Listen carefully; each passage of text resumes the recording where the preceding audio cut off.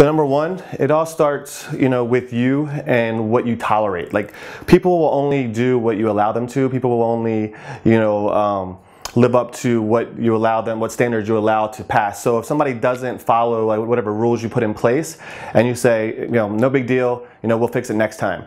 Um, then the next time they're going to do it again, or somebody else is going to do it again, and they're not going to take you seriously. And then you try to implement new, you know, guidelines or standards or rules. You know, it's going to be hard to get everybody, you know, to uh, to listen. Way back in the day, I used to work for Baltimore Gas and Electric. It's an electric company, and they had a zero tolerance on being late. If you were late one minute for any reason whatsoever, you would immediately describe yourself and go. There was no questions, you know, asked. Nobody was ever late. Well, I don't care if there was an accident, if there was traffic, if anything, people would get there like 30, 40 minutes early, get coffee, sit around, talk, hang out, and then they would get their route for the day, and then they'd go out and read meters or whatever they had to do. But nobody you know, um, would be late because there was zero tolerance. They didn't care if you were the number one, you know, meter reader in the company. If you were late, you were gone too. So you kind of have to have that same mentality when it comes to uh, creating rules uh, for your business and then, you know, holding them accountable and actually following through.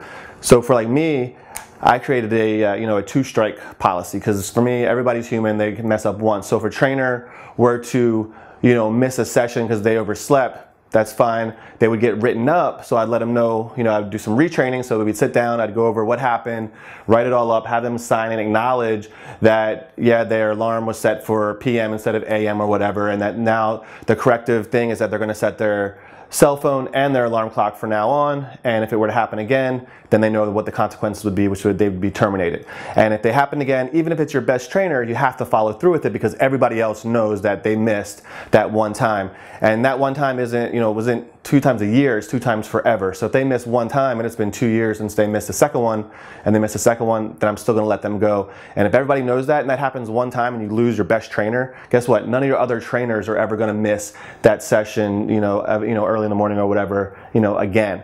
So here's you have to, you know, starts with you. You got to set the rule and then follow through even if it's hard. Two, it's all about your communication. my good friends and uh, business partners, Mark Hoverson has a level in our game in one of his games. It's called executive communication, and that's really key because some every you know even if you have systems running your business and you have ways you want things done over time you're constantly finding little ways you know to make it better. And if you don't document that and then retrain your employees in your head you're like you think you told everybody and everybody's you know running the latest edition or latest update but they're not. You might have told one trainer and you assume that everybody else knows it. And then when the other person's not doing the same thing you get upset or, or you think they're not listening or whatever. So you have to communicate clearly. There can't you can't leave anything up for assumption.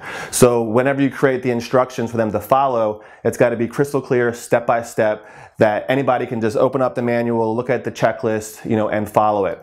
Even in, you know, for everything in your business. In my gym, even the cleaning people had a checklist because the first time they came in and they cleaned the gym just to show me how good of a job they could do, they did a great job. They sold me on it like, all right, you're hired. You can come in once a week and do like a deep cleaning, clean everything. First week was great. Second week was good. By like the third week, I noticed that you know, the mirrors weren't done. And I was like, all right, you know, what's going on? You know, maybe they're just in a hurry this time. It's like a fluke accident or whatever. The next week it was like the mirrors and one other thing. And I was like, okay, now they're just trying to see, they're trying to hurry up because they probably got another job they had to go to or they picked up some more business. So then I talked to them and told him my concerns. The next week it was perfect again. So I was like, all right, here's what I'm gonna do. So I created a checklist of everything I wanted clean from the mirrors to sweeping and mopping bathroom floors to vacuuming to wiping down the equipment to cleaning up, taking all the trash out, whatever it was. I had checklists for every little thing. And then I, you know, I just asked them to initial that they did each line item.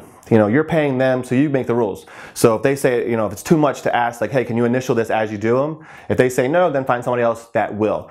Um, and that way, if they if they initial off that yes, we clean the windows, and I come in, I see a big handprint, and they've just left like five minutes ago, then I know they didn't, and I can be like, hey, you signed that you did the mirrors and you didn't, you know, what's going on, and give them a two strike policy, you know, as well, and find somebody else that will actually, you know, do it. So you have to have your communication, you know, clear. You can't leave anything up for assumption. So be clear, concise, and no assumptions.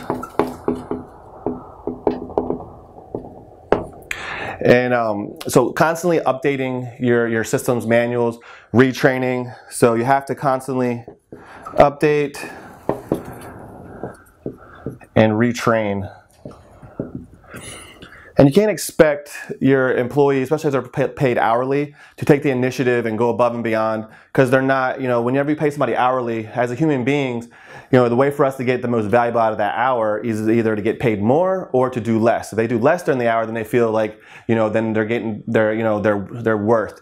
So you have to keep, you know, so especially if they're hourly, you know, employees, you have to constantly be motivating them, giving them recognition, you know, make sure everything's updated and then retrain when, you know, when needed.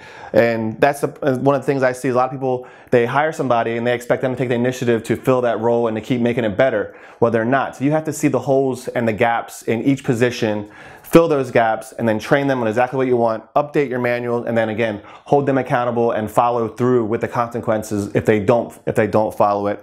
Write them up. You can do a three strike policy if you want. I like to, you know, because again, everybody can mess up once. Um, but the second time, it's on them. Um, when you do have checklists and stuff, make sure they're not like signing everything off first and then going and doing the task because they're definitely going to forget one, you know, or two of the things, even though they signed off on it. And then when you go to talk to them, that's what they're going to tell you. Um, you know, when I used to work in, when I was in the military in the Air Force, I was a crew chief on the B-2 stealth bomber, and we had a manual for everything.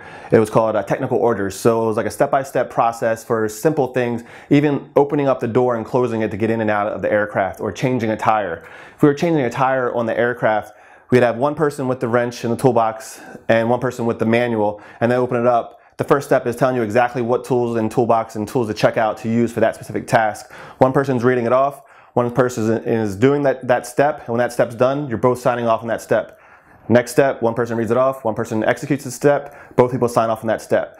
And I mean, that's, a, that's an extreme, but we were working on a billion dollar plane that if we made a mistake or we missed a step, it would cost people's lives and cost a billion dollars if the plane were to go down. So you have to have everything very you know, specific and it has to maintain, it has to be updated. You can't be running off an old model. Be clear and concise with your communication and you know really invest in your employees invest in your team to keep training them and making them better and then again holding them accountable